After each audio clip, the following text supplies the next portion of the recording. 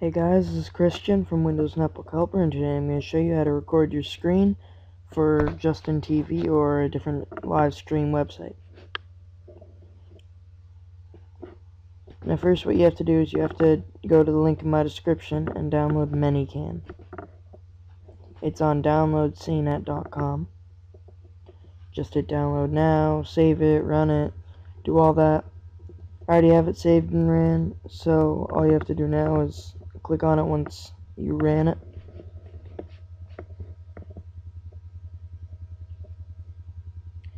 Here's ManyCam now.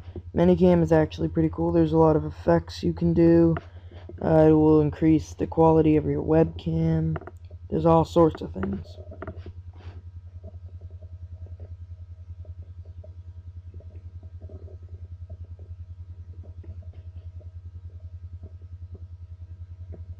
Now go down to your live streaming website. Hit go live or wherever you have to click on to post a video.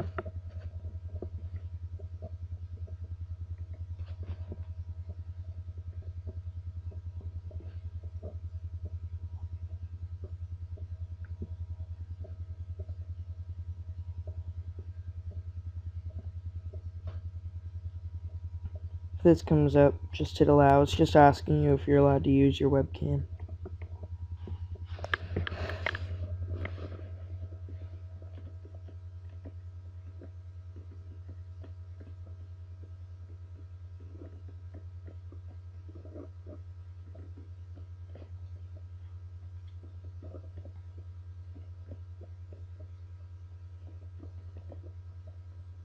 Once your webcam comes up, it might have to load. This could take a little while.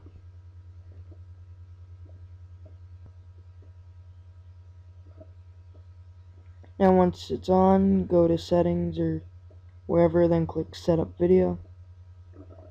Then go to select camera and your ManyCam should be in should be in one of the choices to pick a camera. So you click on ManyCam. Then click back close. And there's ManyCam, so when you want to record, just click start. Now if you want to record the full desktop, click full desktop. And there it will be like that on Justin TV or your live stream website. If you want to record just one little part of your of your desktop, make wherever you want to record hit OK.